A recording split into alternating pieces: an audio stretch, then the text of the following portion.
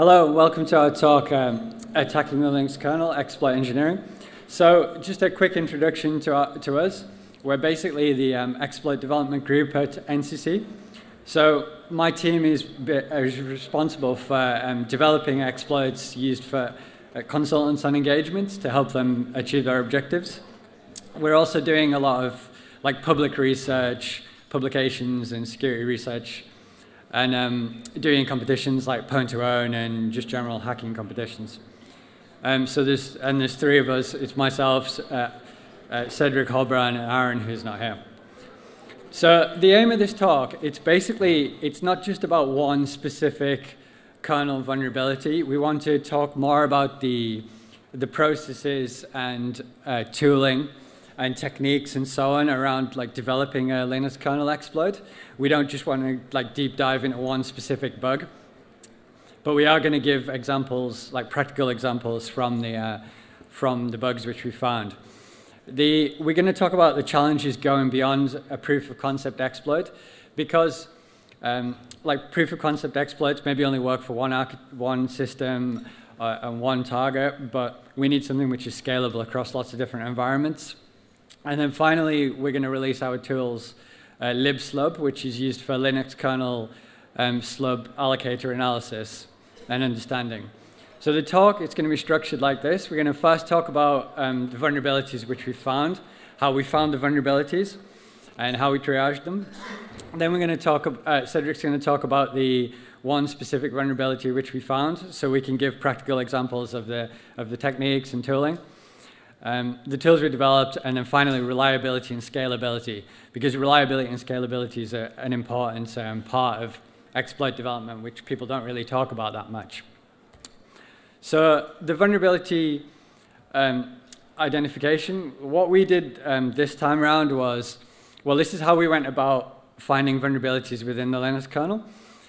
We, we, we were thinking, taking the approach that probably the core operating system functionality, things like the scheduler, the interrupts, uh, the memory mapping subsystems and things like that, they're probably less interesting uh, to, to us to find bugs.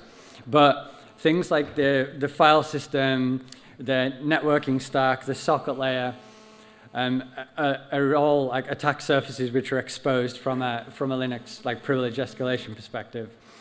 And things like new components as well, like IOU ring, um, like it's been introduced into the kernel relatively recently uh, and um, is subject to quite a lot of changes. And uh, in the past, we've had things like BPF, because there's um, a BPF packet filtering interpreter within the kernel. That was obviously an interesting thing to look at. But actually, these days, um, BPF isn't that interesting because, uh, well, at least in Ubuntu, um, which we were focusing on, uh, unprivileged BPF disable, is disabled. Um, so where, where do you look? Well, Google have done a really good thing with, um, with their KCTF project. So if you're not aware of uh, KCTF, it's basically it's a Kubernetes CTF challenge where people have to break outside of the Kubernetes containers and the pods um, to, to gain code execution within the node um, and obtain a flag. So typically this is done using Linux kernel uh. So there, if, if you look at the vulnerabilities which have actually been practically exploited in KCTF, you can see um, from this list, there's lots and lots of, there's a, a, bunch of different examples, but things like, like C group, the um, net packet subsystem, IOU ring, as we were saying, like there's been a lot of like practical exploits within IOU ring because it was a subject, uh, because that subsystem was subject to change quite a lot. Um, but yeah, Google have basically came up with these these recipes, and these are like recipes which go which uh, are used for for exploit development. So essentially, the bug classes, the primitives which go into into developing the exploit, and the capabilities which are required to exploit these bugs. So um, one area which we looked at quite a, one area which we were interested in investigating was these uh, user namespaces. So if you're not familiar with user namespaces in Linux, uh, it's a way of providing segregation and like grouping of resources uh, so they're only uh, accessible within, within that namespace. But, uh, and it's the way which um, containerization is, is like the primitives in the kernel which containerization is built on. So things like um, you have IPC namespaces, mount namespaces, network namespaces. But it's interesting from an attacker perspective because um, these namespaces, while they do, they are there to provide isolation and, and grouping of resources, they actually expose more kernel attack surface to, um, to a process which is executing within a namespace. So on Ubuntu as well, um, they've got this uh, unprivileged user namespace is, is enabled. So an unprivileged user can create these namespaces and processes can gain these capabilities which they wouldn't uh, particularly be able to have, well, they wouldn't be able to have as unprivileged if they're outside of the namespace, but within the container, they can actually hold the, um, the, the capabilities. So if we look at the network namespace to start off with, And then basically there's, um, we, we, started doing a code review of the different uh, areas which are exposed within the network namespace. And this basically gives you the capabilities to, to use things like the NetFilter subsystem, Open vSwitch, and WireGuard. Um, there's also a bunch of like different networking devices which are exposed, and we could find bugs within the um, within these networking devices and, and different uh, uh, interfaces which are supported and can be instantiated within the network namespace. We've also got this um, notion of a mount namespace. So a mount namespace allows um, allows file systems to be mounted within, the, within a user mount namespace. So typically, an unprivileged, an unprivileged user wouldn't be able to mount um, file systems, but within a mount namespace, they, they are able to mount certain um, file systems. And a previous year's pwn2own bug, which was found by Synactive, uh, a use after free in the ShiftFS um, file system, was, was uh, used for pwn2own. Um, so we did a, a, code review of all the different um, um, file systems which are accessible within the mount namespace as well. So we, we took all this information when we were doing this code review and we fed this into developing our uh, internal version of syscaller. Um, we, we, we, we forked syscaller and we basically extended the grammars for, for. And we, we made sure that we were focusing on fuzzing of um, the subsystems which were uh, exposed within Ubuntu. And um, because when Google are fuzzing at scale, they're, they're essentially fuzzing on the master branch. They're, they're fuzzing quite wide, but they're, they're not fuzzing like distro-specific functionality. So things like shift of vases isn't covered. Um, we took the coverage maps, so we were looking at syscaller to basically identify where gaps were in the coverage. We looked at change logs. We worked our way backwards through the um, kernel change logs from the, old, from the newer versions to the older versions and, and added and extended the grammars for this. Uh, Zeri's written two really good articles, uh, two really good blog articles about um, how you extend syscall grammars, because I don't have time to go into it here, but um, he wrote some things about external network fuzzing and USB fuzzing, uh, extending the grammars for this. Then we, then we also did a targeted um, functionality fuzzing. So with all this information which we gathered, we decided to focus on the on, on a number of areas. So we focused on the NetFilter subsystem because NetFilter was, um, it wasn't previously exposed. I mean, it's not exposed to an unprivileged user, but inside a network namespace it is. We focused on the packet scheduler because when we were reviewing the code, it looked like it wasn't uh, particularly as high a quality code as it could be and we focused on uh, OVS, Open vSwitch, because there were literally no public grammars for, uh, for Open vSwitch. So then we, we took a Threadripper box with 64 cores. We could have used um, some cloud-based fuzzing for this, and we basically, we, we, we threw this again with 28 VMs for, for uh, like a couple of weeks at a time, just focusing down on these, on these specific areas of functionality rather than going wide across the kernel. And we tried to do things like porting the ASM1 parser from kernel space. We moved that back from kernel space into userland so we could fuzz that with libfuzzer as well. and I believe Amat's talking about um, ASN1 and like possible weaknesses in that later on as well. Um, so the, the, I'm now going to talk about the vulnerability triage and, and what we actually found from this. So to triage the, these, these, um, these fuzzed vulnerabilities, we basically, I mean, it, it's quite time consuming. We, we didn't really have an automated way of triaging these issues. Like on Windows, you have things like, like bang exploitable, it gives you kind of an indication, but um, we were basically just relying on our experience and knowledge like of, of what could be an interesting crash. Um, but obviously focusing on things like which triggered KASAN, so issues which were very likely to be memory safety violations. And then we basically filed these bugs into a bug tracker. So because we had quite a few crashes, we'd file anything looking interesting, and then, then we could go back and um, identify uh, and investigate these crashes in a lot more detail like later. We wrote some automation as well for doing um, automating triage of Syzbot. So Syzbot is Google's um, autom uh, Syzbot's Google's dashboard for syscaller, and it allows them to manage different syscaller uh, uh, different syscaller nodes and provide a dashboard with all the crashes in. It also does things like emailing developers um, when a bug is found, and um, and then they can investigate the crash and triage it and so on. But we noticed that um, the sysbot bugs, like they're not always they're not always actioned. Like maybe the developers are too busy, maybe they don't realize that it's a um, like a security relevant issue, or it just gets put on in the backlog and never looked at. Um, so we started looking through those, and this gives like a good indication of, of areas to look at as well, because we can see from uh, Google fuzzing at scale and us fuzzing as well, um, what, what the kind of vulnerable areas could be due to like bug clustering, um, so this is useful for KCDF. I think this is one of the reasons Google uh, possibly uh, running KCDF uh, to incentivize people looking at these crashes and to reduce the amount of days just sitting there in the um, uh, in the uh, in their Syzbot dashboards, um, and also possibly Pwn to own as well because.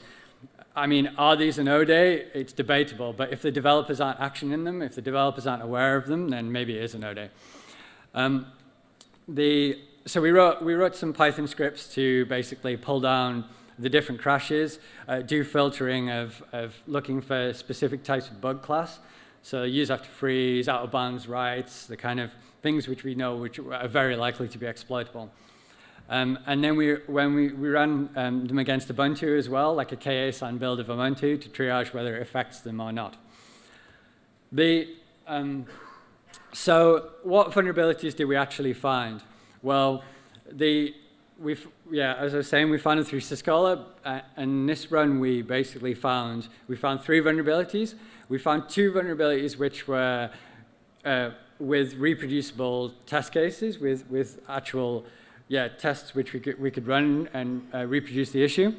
So one was a heap overflow in uh, legacy palm, uh, parse parameters, which we wrote an exploit for. Um, but we another another team actually they they exploited this issue for KCDF and beat us to that one. Um, and then we also found an out of bounds write in WatchGuard subsystem, uh, which I think John Horn also found. Um, and uh, we wrote well we exploited that as far as getting a KSLR leak. Um, but the third one we're going to talk about today uh, is one of the issues which wasn't reproducible. Like there was no test case to actually reproduce this from Syscaller. And we had to manually triage this to determine um, the root cause of the issue. And this meant that we didn't get duped by any of the teams as well. So, um, so this issue, it was it exhibited itself as in the in the output. It was a use after free and NF tables bind set. Um, it was a use after free write, a write of eight bytes to the to the freed uh, chunk, and uh, so triaging it, we were basically, we started off by looking at the alloc to see where, where the, um, and we could see that uh, it was calling NF, NF tables new sets to create a new set, and then it was uh, allocating an expression, and then free to free the expression. And then the use after free part, we could see it was doing a, um, it was binding, it was calling NF tables uh, bind set, and essentially binding, well, it, it was doing some linked list operation, uh, list add tail RCU to add something to the tail of, of a linked list. So we were thinking, yeah, this is possibly like a, a dangling pointer within the, um, uh, within the, the, the list, um, yeah, the sets. So the, we basically, so how do we triage this one then? We, there was no, there's no manual way of, of doing this. I mean, there's no automated way of doing this. We, we, again, we had to do manual analysis. Um, it just required a lot of time, understanding the source code, and looking at things like where the allocation happens, where the free happens, and where the use after free, free part occurs, and then trying to piece together, like build that mental model of actually what the bug could be, then writing some um, like test test cases to, to try to re-trigger the bug, and finally we, we managed to reproduce the bug just from source code analysis and infer the, um, the vulnerability side effects from this. So an interesting thing about this bug is that, um, that Sysbot did actually find this one as well, and it was sitting within the dashboard since November 2021. Um, but no, like, I didn't see this, and I, I, don't think many people are aware of this. Uh, Zhukov, who was the, the guy who uh, was maintainer of the Syscholar project, um, he pointed this out after we released our blog post on, on uh, exploiting this issue. But it just goes to show like there's a lot of vendors just sitting around uh, in the uh, thing. So I'm now going to hand over to Cedric to talk about the bug itself and the techniques. Okay, so the idea of, of, talking about this vulnerability is just taking it as an example so we can talk about everything else. But it, so we're gonna go, not going to go into like huge details, and especially because if you're interested in this kind of uh, really huge detail. We've published a really long po blog post. Uh, there is a, has been a presentation, and also other company like Theory actually uh, did their own exploitation method. So you have lots of content. But basically, uh, the idea is we, we are in an NF table, and there are lots of different objects, but the only two we are interested in are a set and an expression. And the idea is that we are only in, interested in this kind of scenario where uh, we trigger the vulnerability. Um, the idea is we have is this set object, okay? Uh, you don't even need to understand what they are, but basically this set object has a linked list, which is called bindings, and so it's a list list, it's a linked list of expressions, okay? So at some point you can have a set that has, that has a linked list of expression. And somehow we trigger the bug, and what happens is we have, like uh, Alex was saying, we have a dangling pointer to a free chunk, and it happens to be a previously allocated expression, okay? And this uh, pointer to this, uh, this dangling pointer is inside this linked list. So it can be either from um, the set itself, so the beginning of the linked list, or from another expression in the linked list. And basically, like Alex was saying, uh, the use, after free occurs when we try to insert or uh, remove an, uh, another expression from the linked list. Because the operation to insert or remove uh, an element, if you're familiar with a linked list, is basically to update pointers, and so it's going to basically write a pointer into uh, an adjacent chunk. But basically, in the other scenario we can think of is, yeah, there is already an expression in the linked list.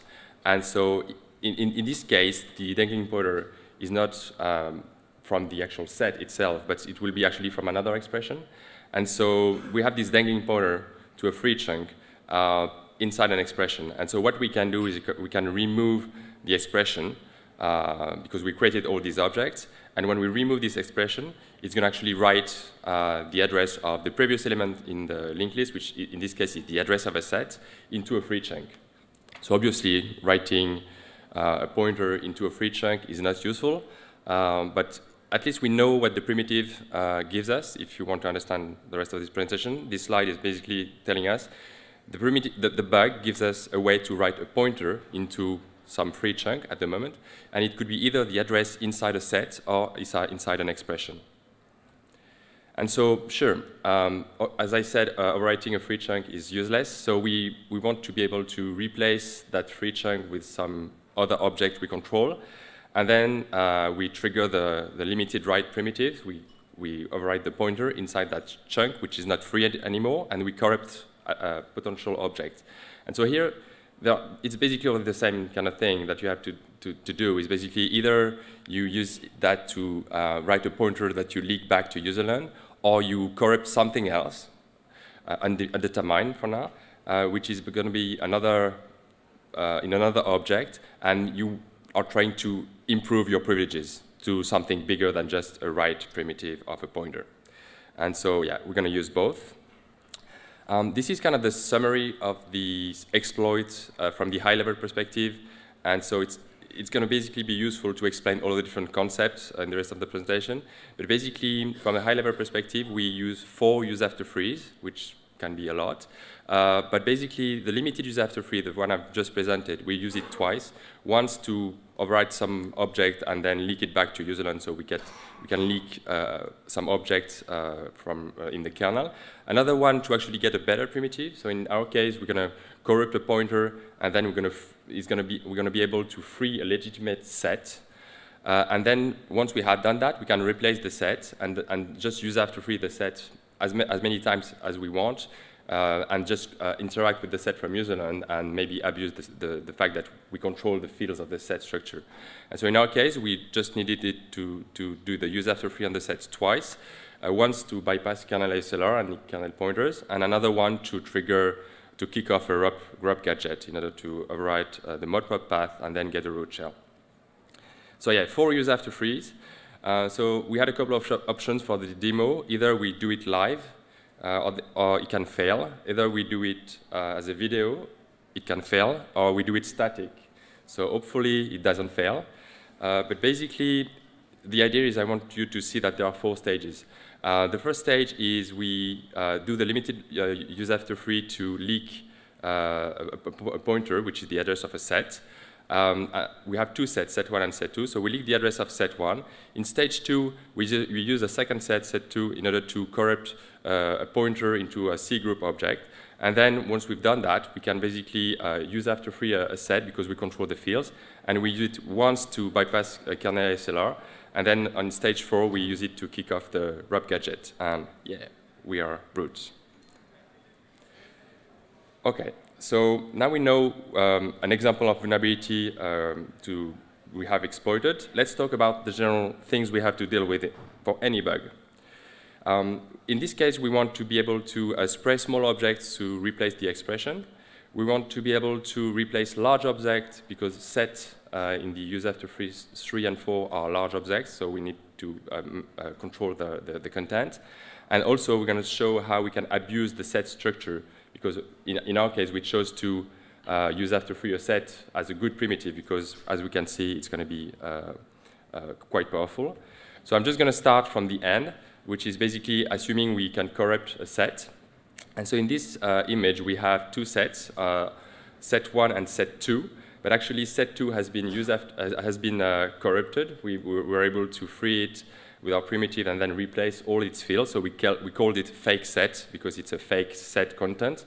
But actually, it's a real set from the operating system point of view, so we can interact with it. It's just we control the fields. And so what can we do with that? Uh, basically, um, the most important fields are the UData and UD length. Basically, in a set, you can actually, uh, at creation time, you can actually control some data that's going to be stored inside the set. So it's going to be appended uh, after the actual set structures structure. And so uh, it's basically user supply data, and you can not only uh, uh, write them uh, at creation time, but you can also read them back, which, can, which is going to be quite handy. Uh, the other thing is um, if we can actually leak, so, so yeah, so what we do is basically we, we corrupt, assuming we have leaked the, the address of set one already, um, which we'll do in, in phase one, uh, we can actually corrupt UData and UD length to point to set one because we know this address. And then what we can do is we can leak all the content of set one, which is a third thing, but we can also potentially uh, leak the adjacent chunks as well uh, because we can set UD lengths to be not only the size of set one, but also adjacent chunks. So that's pretty cool. Uh, but we have a few constraints. Uh, for example, the name of this fake set needs to be a valid kernel pointer to a string, because in order to interact with it from userland, it needs to be valid. So, but it's not a problem because we can pre preliminary, preliminary, pre preliminary allocate when we set set one. We can store a fake name into its user data, and once we have leaked the address of set one anyway that we need for writing new data, we can just set the name to the right offset. Um, the other thing uh, we can do from leaking set one is we can leak a pointer into the list uh, and, uh, a linked list, which is at the first element. It's a list of uh, sets that are associated with the same table. So if we have set 1 and set 2 into the same linked list, we can just leak the address of set 2, and then it gives us more uh, power. Um, and the last thing is uh, the set structure actually has a pointer to a function table called ops, which we can potentially use for kicking off a ROP chain, because there is no CFI. Okay, so how do we actually uh, overwrite uh, a set? We, I said it's a large structure, so for UseAfter 3 and 4, um, we need large objects. But we also want uh, other objects that are large that will be on the same uh, slab cache uh, in order to bypass kernel ASLR that would actually contain uh, pointers to the kernel. So th this table, I'm not going to go over all the techniques, because there have been many exploits, but it's just to show that basically techniques evolve over time, and vulnerabilities take uh, always the same technique until they are dead. And that, for instance, uh, I'm showing that message-message used to be a technique that I've been using ma many times, but it, um, it stopped working from the exploitation point of view because the, the object ended up moving to a different cache that is not uh, uh, useful anymore in the, in the general cache because they, they are in the kmalloc ng instead of kmalloc caches. Another example is user4d, where uh, by default um, in um, some distribution, they will basically uh, disable the fact that you can actually interact with user4d from an unprivileged normal user. Uh, but the, I mean, I'm not listing them all. There are many other techniques. But the idea is, for instance, here in our, case, we can actually use setx attribute um, in order to control the data um, of allocation of large size uh, in the kernel. Um, because we, all we need to do is create unprivileged user and mount namespaces. So that works to replace the set content. And then we need specific object that contain kernel pointers, and we can use TTY struct uh, object because they, con they contain a pointer to the kernel. Um, however, they are in the kmalloc 1K, so, and our sets initially are in the kmalloc 512, but all we need is just to add data into the, the actual set to increase the size so we, we end up being on the right set, on the right cache. Okay, one interesting thing about this uh, leak we've used, which could be applied to any other leak technique, is basically when we spray um, TTY struct and we allocate the set, uh, the idea is we want the set to be before other TTY struct, but what could happen, in, like in the image, is that the set is actually at the end of a slab, and so if we try to leak the content of set 1 and try to leak the content after set 1, we're not going to leak anything because it's going to be uh, no, not, not a slab uh, being allocated yet. And so um, it's going to be annoying because uh, it means um, we can't bypass, we can't get this address which we need in the first place. But the interesting thing is that we actually leak the address of set1 in the first use after free. So from our perspective, what we can do is we can just check the last few bytes of the of the address of the set we've leaked, and we can detect if it's actually at the end of a slab, and you just do some math uh, depending on how many objects there is in the slab and, and what is the size of an object, and you can just detect that, which is quite handy. And it's, it's, it's an important reliability aspect because it means we only need to trigger one use after free, and then we can just uh, restart the exploit from scratch uh, instead of triggering four use after frees and detecting that afterwards. So the other thing we need is we need to be able to spray small objects in order to initially replace the expression for the limited use after free for use after free 1 and 2. And in this case, um, what matters is very specific to our, our, our vulnerability, which is that the uh, write primitive we have is dictated by where, but the offset or where bindings, uh, the field name bindings is in the expression structure.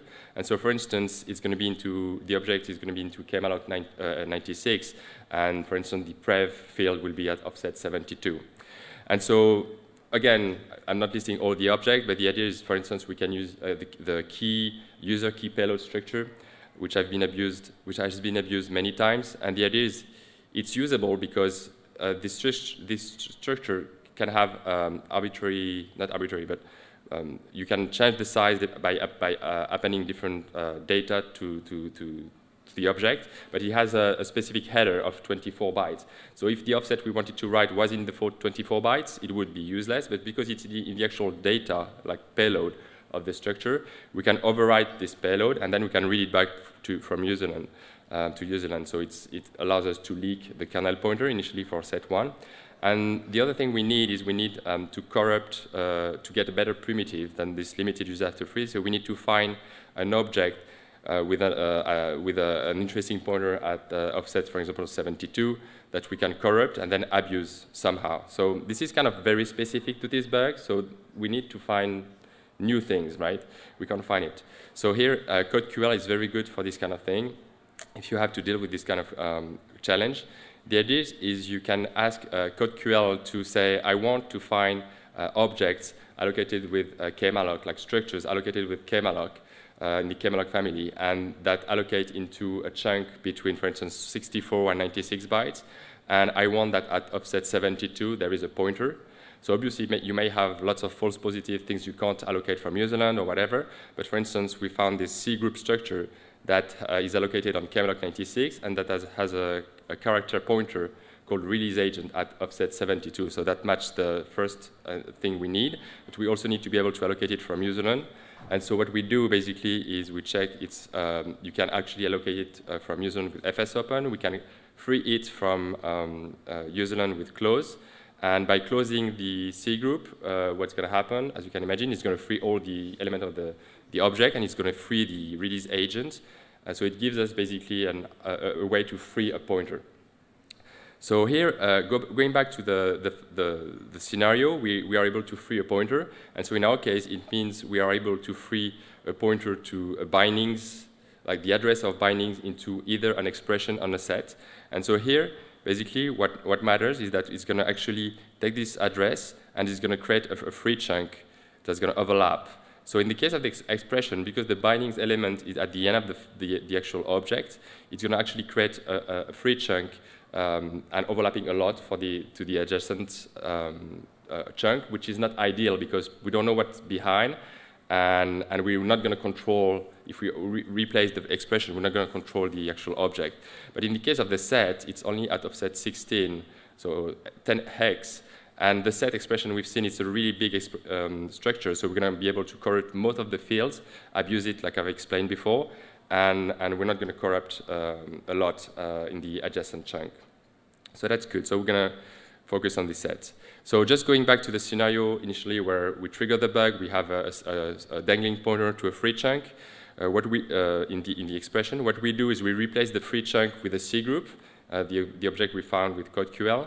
This, uh, this object has a release agent uh, pointer at the right offset. Now we free the expression. It's going to actually corrupt the release agent with the address of the bindings, in our case, the, the set to bindings address. And now what we can do is just free the C group, and it's going to actually free set 2. And now we, we can replace set 2 and have arbitrary content and control its fields and abuse the, the fact that it's, um, in, it's a it's control set that we can interact with it from username. So one thing um, to take into account when we trigger use after free is that it, the time you need to actually, between the free and the, the capability to replace the chunk before uh, something else on the system actually replace the chunk. And it's something you have to deal with all the time with use after free vulnerabilities. And so in our case, the interesting thing is we had different environments, QEMU, VMware, whatever. And, and basically, uh, one of us was using VMware, and it kept crashing, but not on the other one in QEMU. And it turned out it was because um, of the combination of a debug message being printed from userland that would trigger uh, handling uh, by the VMware graphic driver. You can see VMWGFX. And the, the crash happens because the, the, the chunk is, re, is overwritten, like the, the, the, the, chunk handled by VMware graphic driver is overwritten with our, our, our pointer and it, everything, it doesn't like it. Okay, so now let's move to debugging tools. So we want to talk about two things. Uh, one thing, uh, one aspect, which is how to use the debugger to help us assist, um, assisting us with uh, debugging different use after freeze, because we have four of them. Uh, and then um, talking about libslub, like a heap analysis tool we wrote. So the thing about, we have four use after freeze. So if we uh, have to debug use after freeze 3 and 4, and at, first when we poke the exploit, use after free 1 and 2 are not very reliable. It's, it can be annoying to just keeping having to uh, execute the exploit and, and it fails on use after free 1 and you want to work on use after free 3 or 4. So what, basically the thing you do is you just write a GDB script that's going to log the address of set1 and set2 at set creation with the nf table new set function. And then later, when you try to interact, for instance, with set2, we just assume we corrupted set2 uh, by just pointing the udata uh, point, uh, pointer to set1, UD uh, length to be a bit large size, more than set1, and then timeout to be a value that you can uh, in, uh, check from userland and say, okay, we assume now we corrupted the set and we just work on the rest and, and, make sure it works. And it can be very handy, especially when we are several people working on the same thing. We can work on different aspects. And then the same thing for um, um, if you want to simulate all the, the, the use after free, you just want to kick off the ROP chain and just debug the ROP chain to make sure you're understanding is correct. Okay, so let's talk about libslub. Um, so libslub is a Python library we wrote. It's a GDB uh, Python library. Um, and the idea is we want to be analyzing the, the slab management structures as well as the object allocation. It's currently designed for GDB, but if you want to uh, adapt it for LLDB, for instance, it's really easy to do.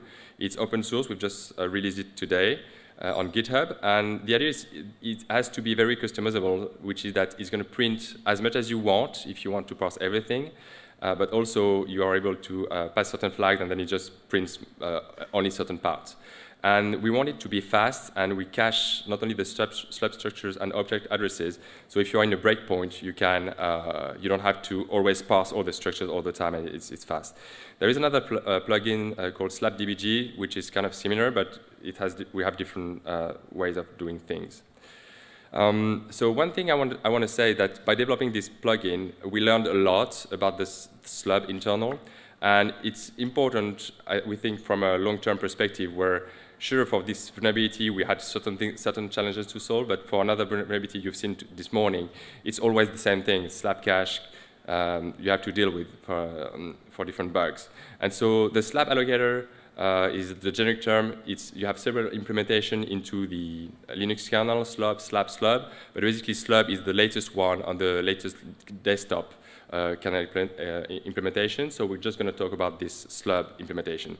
And so basically what you, if you're not familiar with um, kernel uh, heap, I know we've talked about it um, um, already today, but because we're going to talk about the plugin, I just want to make sure everyone is on the same page. We have the concept of cache that contains slabs, and then slabs contain basically object in memory regions. And so the cache is uh, con this concept of object all of the same type, kind of thing. So kmalloc 1K will be object of size 1K, 1024 bytes. And so this cache will contain several slabs, and you have different slabs that you have to deal with. You have the main slab, what we call the main slab, which is basically the current slab that is used for the allocation. And then you have this concept of partial slab that contain allocated object, but also not allocated object. And the idea is when the main slab becomes full, because there is no room anymore, and we can't allocate new object from this slab, um, um, partial slabs can become the, the new main slab. And you have this concept of full slab, which is basically not used at all because they are full. Uh, they contain only allocated object. And so, yeah, it was mentioned this morning, but main slab and, and partial slabs um, are associated with a CPU core, uh, whereas a full slab is not. So it's important to understand that sometimes um, if, you are, if you are in a multi-CPU scenario. And then the slab is composed of what we call memory pages, which uh, the number of memory pages for a given slab depends on the object size and, and so on. So, okay, so going into libslub. So this is kind of the output you would get from libslub. Um, all the commands start with sb like slub, uh, and then you can do sb help to get all the commands.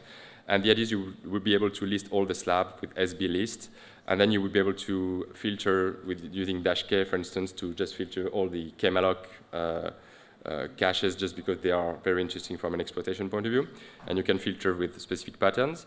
Um, then the SB cache is like the generic, um, like overwhelming command that's going to print uh, the contents by passing all the structures. So we do print like all the different structures. You don't really need to understand them, but if you if you want to really understand the internal, it's useful. But basically, the idea is we what is useful here is that we have the you can see the free list um, which is a pointer to, to the first element in the list. And then we print that we have five elements, so we already passed uh, the free list to print it.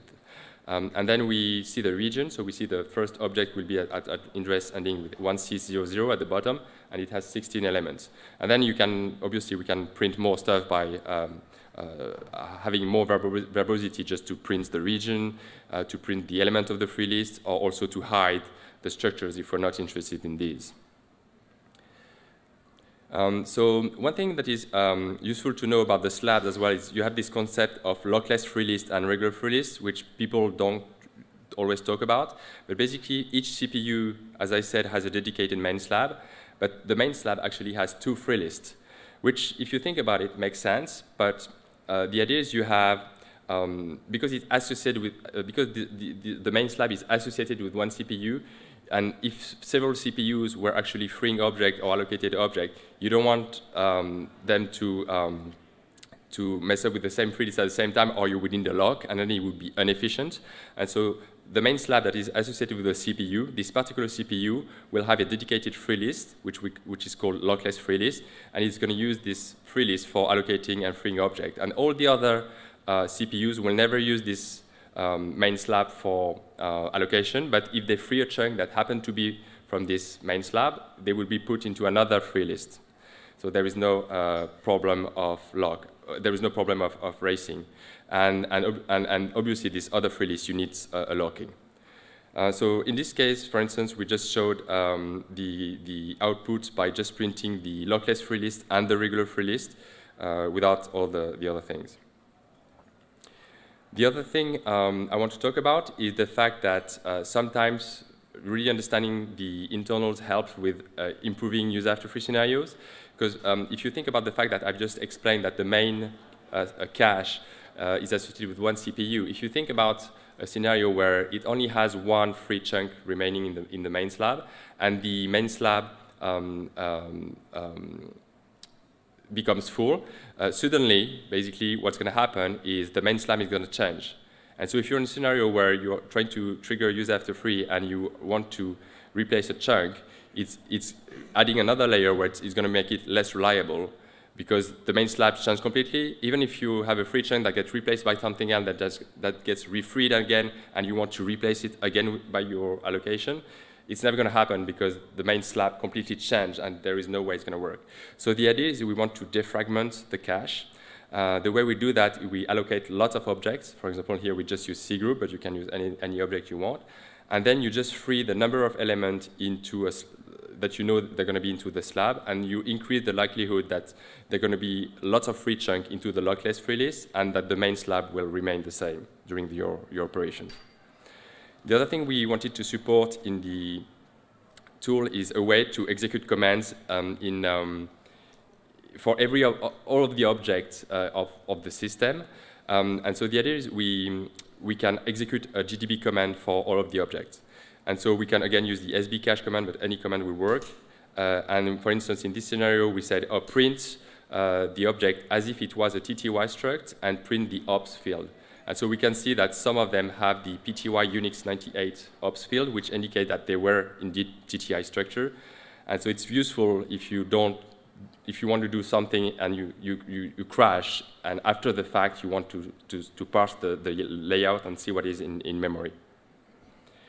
So another thing we wanted to support is I wanted to support the fact that we wanted to be able to tag objects uh, to say they are of a, of a, certain type. So if you think about having a, a, um, a breakpoint on, for example, the allocation of TTY structure um, um, structures, and, and we can just say add uh, that these objects are the, the ta we tag them as, as being TTY, and then later, when we use any of the commands, um, basically the, and we want to show the tag, we'll be able to see where they are in memory, which can be quite handy.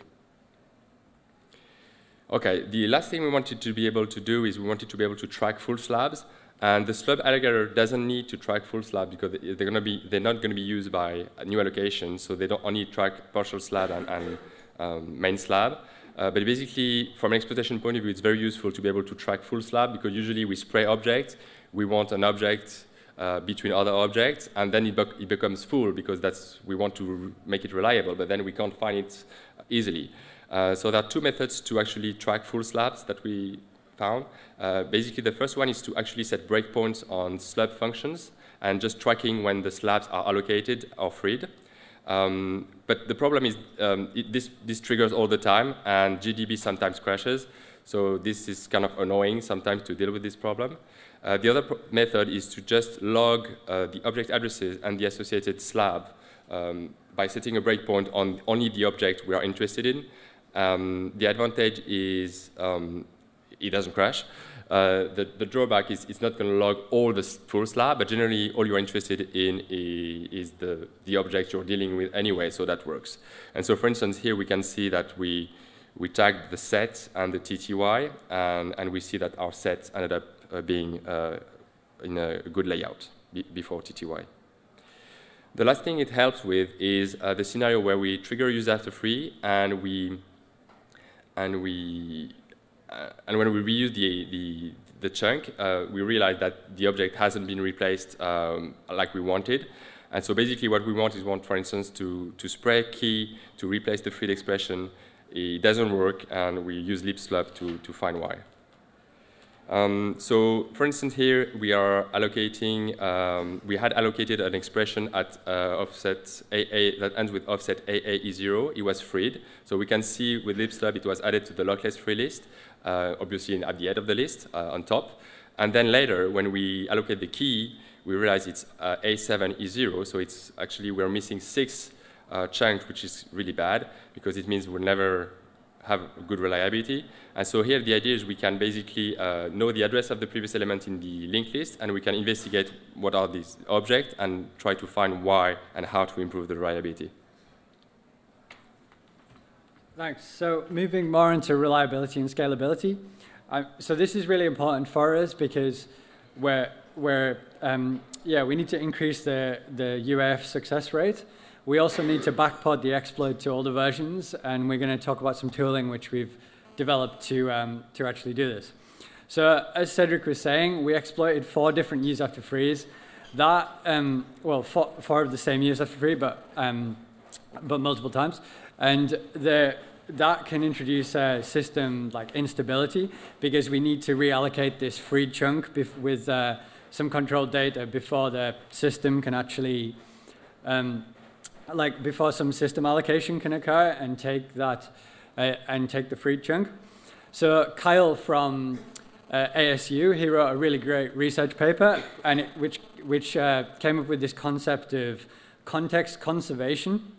I'd not heard of this before, but essentially it was a way he um, he developed where basically it's a way of reducing the likelihood of a context switch occurring, and if you can make it so that um, that your exploits uh, like uh, frees and reallocations occur within within a, a time slice, then it's um, more likely that um, that the system isn't going to uh, take the uh, the freed chunk before you have a chance to reallocate it. So he does this by by injecting a stub into the process, and to measure when a, fresh time slice is. Uh, can be allocated, and then you can perform the exploit critical functions within that time slice. The we also did some certain thing. We also did some things like uh, we basically reduced the amount of code between the free and the allocation, because if we've got things like um, so well doing things like inlining functions, it can uh, reduce the amount like uh, potentially make it so that it's less likely for context switch to occur. Um, and reducing uh, unwanted debug code as well. So if there's like a debug statement in, maybe that can uh, like uh, cause unwanted memory uh, allocations to occur. We also implemented CPU pinning as well, which um, so we obviously we had to pin our um, exploit. Uh, well, when we trigger the bug and the reallocation um, on the, to happen on the same CPU cores as well. Um, so the same uh, slab cache is used and um, so overall, we, we got the, we actually got our exploit down to be about 100% success, success rate overall.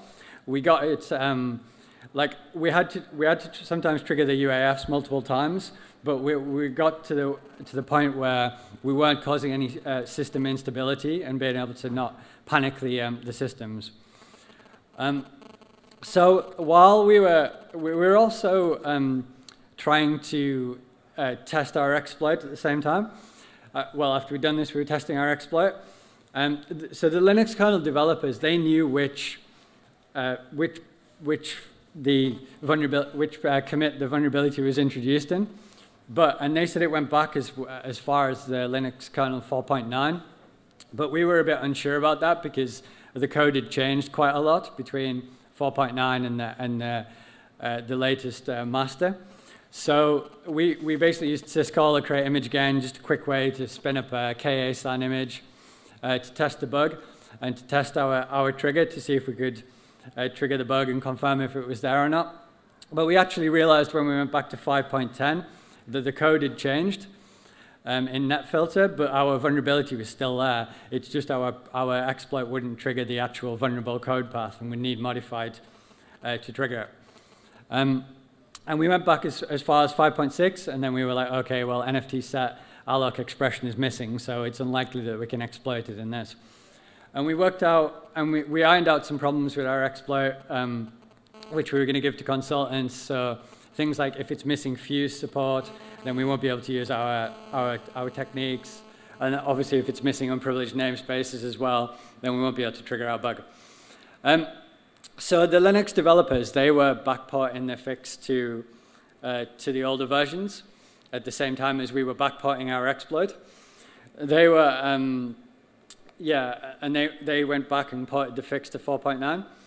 Uh, and we were, we were manually, but while we were doing this, we were manually hunting all the offsets, which is pretty tedious, like going through, um, like looking uh, in IDA or looking and, uh, and to work out what, um, what symbol offsets and struct offsets and so on, which we need. Um, but just like a, a, small diversion, it's interesting to look at the, the disclosure timeline as well from an attacker perspective. Um, it's quite a complex process patching a Linux kernel bug. Like it gets pushed, this one got uh, committed to the netdev tree, then it got merged in the BPF tree, then it got merged in the Linus's tree, and then it finally uh, was like in the, uh, like the, the Linux mainline. Then all of the, um, the, the actual downstream distributions need to pick up the fixes. Uh, the fixes need, needed backported, as I said, but then the fixes initially uh, they wouldn't apply because the code had changed, so the developers had to rewrite the, some of the fixes to actually apply it um, correctly. And then, uh, yeah, finally gets, uh, gets pushed out to the consumer. And, uh, yeah, and for some reason, Red Hat Enterprise Linux was like the last one to patch, like a commercial one. But Ubuntu and Fedora patched relatively quickly. Yeah, um, so anyway, what, that was a bit tedious, like manually doing stuff. So we, we need to improve this. So we developed a set of tools for automation and creation of testing environments. Because um, the software and kernel versions and so on which are installed in, in target environments can be quite, uh, can vary substantially. Um, and because memory corruption uh, exploits that can often contain like static offsets, then we basically had to uh, automate this. So we defined this, we created a tool called target mob and defined a vocabulary. Um, this is basically allowing us to, to do automation of QEMU, Docker. Um, we can do different Linux distributions, the release, the architecture, so all the different architectures which QEMU support. And we can say our target environment needs to have these specific packages installed or versions of the Linux kernel. Um, so we split our architecture for this into two different components. We have the mining pipeline, which is essentially like static binary work. So it crawls packages, extracts offsets and symbols, uh, and so on. And then we have the testing pipeline, which actually builds the environments, tests our exploit in the environments, and gives us results. So the mining pipeline, this looks like this. We basically define a project configuration, um, which is like the packages which we want installed in the environment. Then we scrape, we gather the, the package information, scrape the package information from the APIs, if they're provided uh, by the distribution. And then we can do things like generating ROP gadgets, structure sizes, and so on for the different kernel versions. And then finally, our exploit-specific project extraction. So the project extraction, for each of our exploits, we, we write a JSON file, which defines the offsets which we're interested in. Um, so the, the symbol offsets, the structure offsets, which we care about. And then based on this, we can generate um, like all the offsets for the different releases of the, of the, of the kernel, uh, which we care about, and integrate that into our exploit. So as you can see, here's the, the symbol offsets and the structure offsets. Um, then from the testing perspective, we basically, we have, uh, we build the image, so we build our QEMU image, we run the image, and we deploy our exploit to the image. We, have developed this notion of exploit profilers, where we, we execute our exploit underneath a pro, uh, with a profiler and then analyze the results. So this is good because we can basically say, okay, we need to build all the Linux 5.13.0 and like star for wildcard. And basically, and then we can build all of the 5.13.0 environments. So here is just an example of 30 different buildable environments which, we're, which we've got with the, with the different kernel versions in. Then we, uh, our profilers, we, can, we, we implement an exploit profiler, and that basically profiles the execution of the exploit determines whether the exploit is successful or not.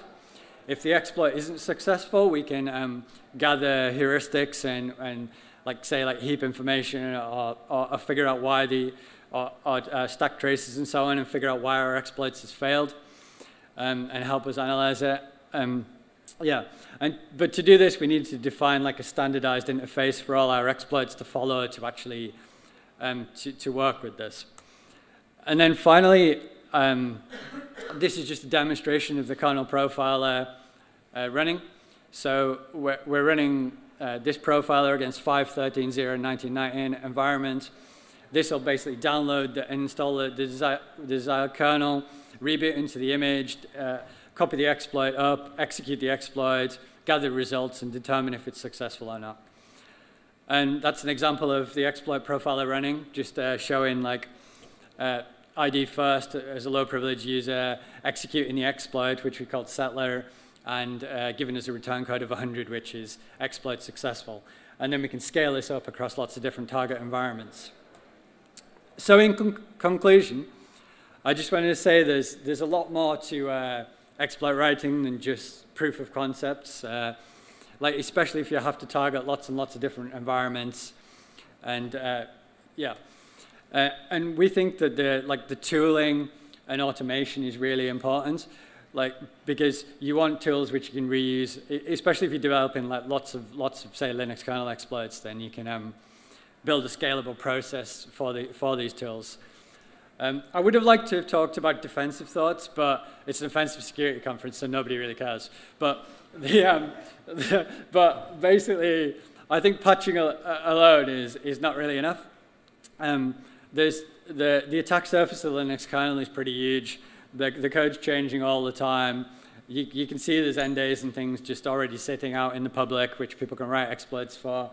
I think the only way really is to do uh, attack surface reduction and to, and to reduce the, um, yeah, to reduce the, the attack surfaces which an attacker has to look at.